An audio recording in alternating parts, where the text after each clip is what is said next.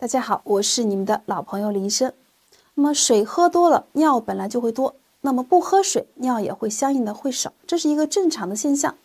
但是啊，一喝水尿就多，是否就表明了你的肾脏就不好呢？是不是有什么科学的依据呢？当我们的身体啊本身它不缺水的时候，喝水多了就会排尿更多，因为身体呢需要保持一个啊液体的流入和流出的一个平衡，否则呢喝水多排尿少。就会出现水肿，因此呢，没有明显的问题。当你喝水的时候啊，你就会排便更多。那么如果说呢，你不喝水，你的小便呢就会更少。如果你在不喝水的情况下产生了更多的尿液，这可能表明是有一些问题的。比如说像一些肾小管的疾病或者尿崩症，患者呢在不喝水的情况下，也有可能会产生更多的尿液。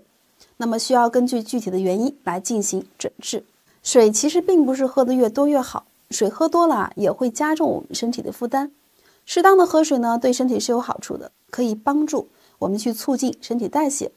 但是呢，也要注意保持一定的饮水量，每天呢一千到两千毫升就可以了，并不是说喝的越多越好。水呢也是我们人体必需的，是人体的细胞和体液的一个主要的成分。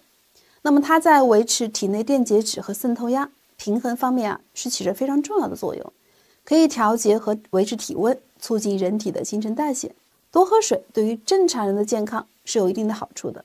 但是呢，对于一些本身呢患有肾病、心脏病或者是一些肝病的人来说，咱们呢也是应当啊控制一下水的摄入量，不建议喝太多的水。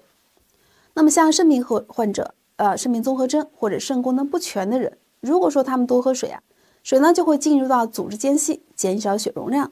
分泌过多的抗利尿激素，这个时候呢就会增加肾小管对于水的重吸收，加剧了水钠储留，并且呢引起眼睑和脚踝水肿，还有可能会影响到全身。严重的人啊可能会出现胸腹水。而对于心脏病的患者，像心功能不全的患者，严重的心功能不全呢，经常呢会伴有肾功能不全，肾功能下降，从而降低了引流能力。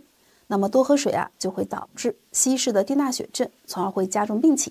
还有对于肝病患者，比如说肝昏迷，不能正常进食，主要就靠外界补液。那么过量的摄入水呢，就会加重水肿、腹水，甚至会诱发脑水肿。所以说呢，咱们喝水量啊，还是要因人而异。平时呢，不要过多的饮水，每天的饮水量在两千毫升左右就可以了。好了，我们今天的分享呢就到这里，关注我，了解更多的健康知识。